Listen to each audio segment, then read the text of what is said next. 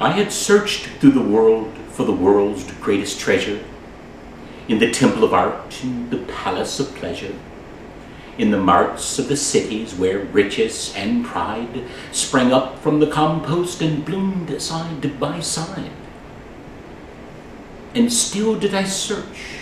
but the prize still eluded, till weary of wandering, sad and deluded, I would fain have abandoned the quest in the end. But the treasure appeared in the love of a friend